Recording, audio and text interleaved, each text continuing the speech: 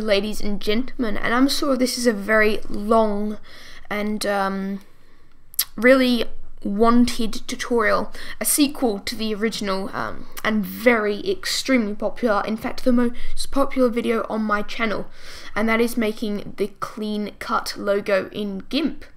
So, I've been thinking for a while to make a new logo tutorial, um, seeing how popular the last one was, which was absolutely amazing. I, I would never think that my last logo tutorial actually um, was like achieved that many um, video views and etc and so many positive feedback so I've come up with the sequel here I've been working on this for like past 40 minutes, something like that. And I thought, while it's still in my head, I'm going to show you how to make this. Of course, this is a GIMP tutorial, one a GIMP tutorial. We haven't done one of those in um, quite a while, actually. I think the last one was the glossy metal text um, tutorial. So, yes. So, let's get started. So, um, so what we've got going here is basically we've got it's quite glossy as you can see on the navigation um, yeah they need to be fixed up those. You can see the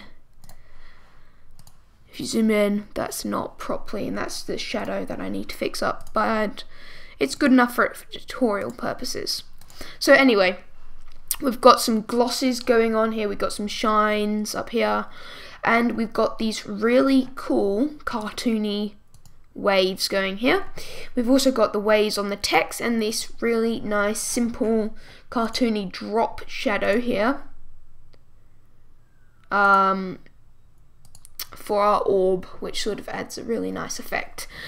Okay, so let's get started. By the way, I've created a little palette here uh, for the colors that we'll be using. So that's the base color. Then we've got that color goes there, etc. So um, I'm going to leave a little document that you guys can uh, open up and I'll just tell you the values of the colors as we go. So we're going to go to File New and for a logo size, we're going to go um, 1400 by 1400 and we're going to click OK. We'll just move this over here like so. Okay, let's start off by making a background color. The color I've got for the background is 252525. Just type that in there and we're going to fill that in and we're going to make a new layer as we do we're going to get the Ellipse um, select tool and we're just going to drag out a circle like so. A bit too big that is. So we're just going to make a new one. Holding shift and control command you can scale up. Keeping the ratios. And we're just going to fill that in on our new layer with black. Command or control shift A to deselect. And can we align this? Will it let me align. No I'll just have to use manual. Sometimes that doesn't work with me. Just using my keyboard because GIMP's not the best on this computer. Sorry about the loud, clacky keyboard. I've got it for Blender because it's got a um, numpad. Anyway, so now we've got our little eclipse here. We're going to um, color match. So go over to here, get your palette, and we're going to select this first color. Go over to this image, and we're going to right click, to selection, fill. Okay, so there we have a very nice um, coloured circle. Okay, we're going to make the drop shadow right now. So we're going to duplicate this layer, move this under, and we're going to call this drop shadow. I'm going to do some labeling because this is quite a few layers and we'll call this circle. On the drop shadow we're going to go right click, alpha to selection and we're going to go to select grow. We're going to grow this by 14 pixels. We're then going to fill this with black. Deselect. So just go to select none. Um, we're then going to get our move tool and using our arrow keys we're going to slide this down like so. So we've got, uh, it's quite small at the top and then it gets quite fat around here. That's the effect we're going for. So now it's time to create our waves. So create a new layer. I'm going to call it waves. And when we're creating our waves, we want to first get a color swatch. And of this color here, I'll leave a link in the description to download this palette here. And we're just going to get our pen tool. Now with our pen tool, we're going to click here and about here and we're just going to go like so. Then we're going to click in line again and it bends. Then we're going to click again like so and click again. And then we'll go all the way down like so and hitting holding control or command this icon should come up and we'll join that together.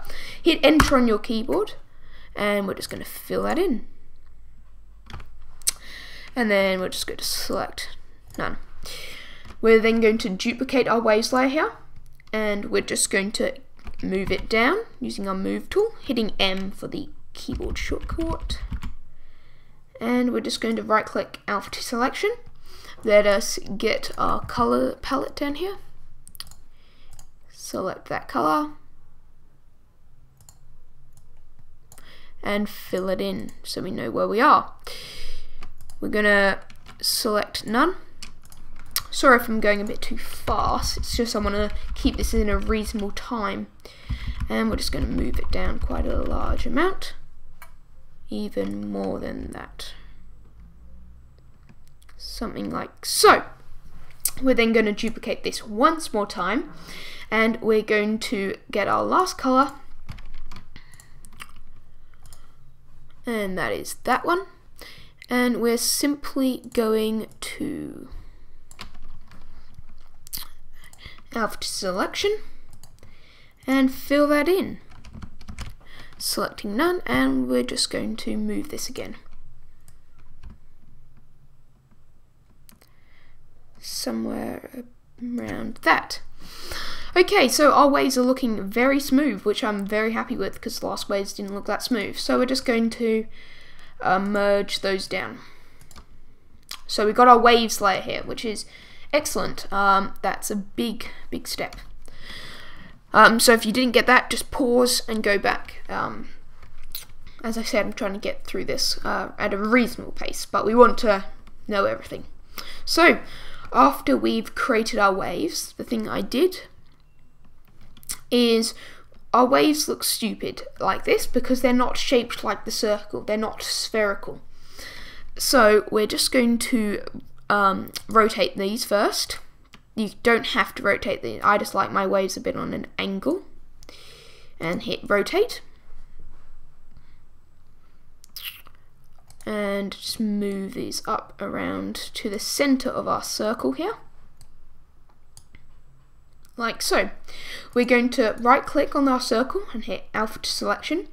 Then we're going to go to select, invert, edit, cut. And that removes all of that horrible junk um, from the outside of the circle, like it removes it. So we'll just select none. So now we've got a sort of nice shape going here. Um, if I just look back, um, we've still got these little bubbles to do. We've got these shines and the text. So we'll start off with the shines. The first shine we're going to do is we're going to make a new layer and we're going to get this color. Sorry. We're going to color swatch this color, our circle's color, and we're going to call this layer shine, oh sorry, we'll call it glow 1. And we're going to get a, we're going to change the color and to a lighter color like so. We're then going to get a soft rusty brush, I was about to say that, and we're just going to plop that in the center. And we're simply just going to lower that there's opacity. Let's make it quite big. Um, sweet. Yeah. So we want to lower that layer's opacity and set it on overlay as well. So set it on overlay and set its opacity down a bit. So now it's sort of taking shape. We've got our circle, we've got our waves, and we've got our first glow. We're now going to add a gloss. So we're just going to make a new layer called gloss. We're then going to grab our um, elliptical shape tool, set the color, the foreground color to white, and we're just going to make a nice shape like that. Make sure it's not too big because we want it to go just here. We're then going to get our gradient tool and make sure it's on um, radio, uh, linear and we're just going to stroke down. Oh, sorry. Sorry, make sure it's on FG to transparent and then stroke down. And then hit deselect. And we just want to lower that opacity like so. What left have we got? Yeah. Okay.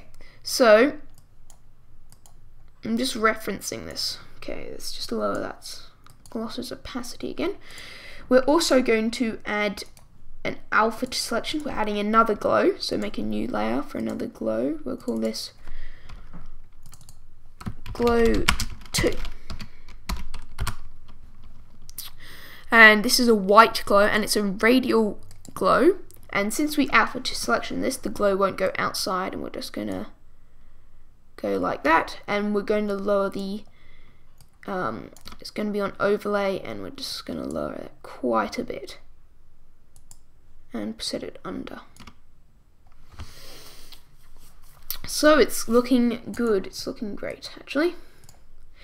So you can edit the glosses and the glows as much as you like, select none. Okay, so we've got this really nice, nice effect going here. Now we're going to add these bubbles. So above the waves layer, we want to make a new layer and we'll call it bubbles.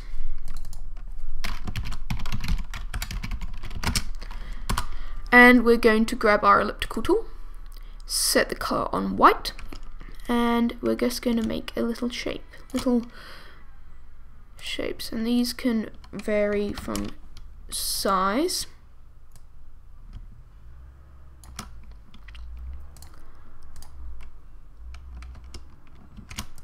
and I'll make a tiny one there.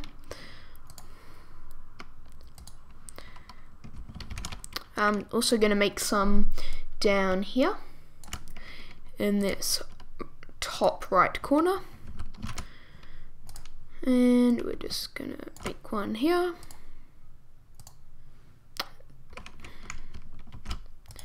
and I'll make a small one just there Okay, you can add as many bubbles as you like to your image. I'm just going to lower the opacity of these, just so it adds a bit of nicer extra detail we can add to our thing. Now it's time for our text, so we're going to make a new layer, just, just to block it up. We'll just call it block. I always make one of these in GIMP, and we're going to get a text tool and our color doesn't really matter right now. Um, actually it does. We need to color pick. We're going to get this color here. So go into our waves and we're going to select the top wave color there. That's how I like it. And we're then going to just make it a bit lighter. Like, so like 6, 7, C, 2, E, C. And we're going to, the font I'm using is Novecento Sans Wide Bold. I'll leave a link um, in the description for you to download that there's quite a process you have to go through. You have to make an account for my font and etc. Um, so I'm going to be using a size of around 200. Actually, I'm going to use 250. See how that turns out. If not, we can always size it up. And I'm just going to type example and just move it into our circle here example and then set the little text on 200 and we'll call this example text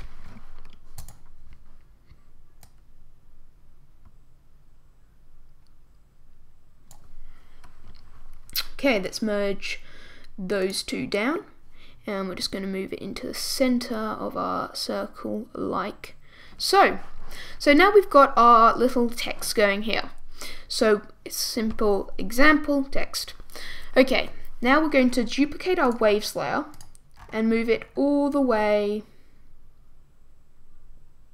above our example text. We're going to then rotate it so it's flat like so and then we're going to overlay it on our text like so. So a bit more up. And we're going to alpha selection on our text and then we're going to go to select, we're going to go to select invert, edit, cut on our waves layer. Make sure you use that on the waves layer. We're then going to um, deselect that. So we've got our nice text going here. Now the thing is you can't even see it, okay? We've got the L here which you can barely see. It's just the colours are really offset and you can just see it. So we're going to add a nice drop shadow to this. We're going to duplicate this layer and we're going to move it down. We're then going to change the colour. We're going to go, sorry, alpha to selection. And then we're going to go select grow. We're going to grow this by 12. And that's a good size. And we're going to fill this with pure black. Make sure you're on fill whole selection. We're then going to deselect. And we're going to get the move and just move it down. Like so. Now we can merge down our text after you finish editing it. Delete our little block here and we need to move it under our glows and glosses.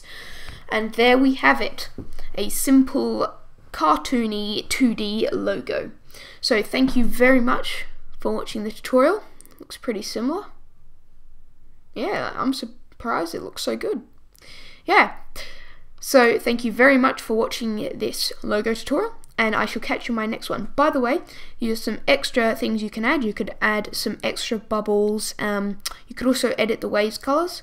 Also, these colors you can have in blue, red. You just need to make a small little palette like so up there. I'll leave a download link for the palette and um, you could also maybe add some drips of paint like splotching on it.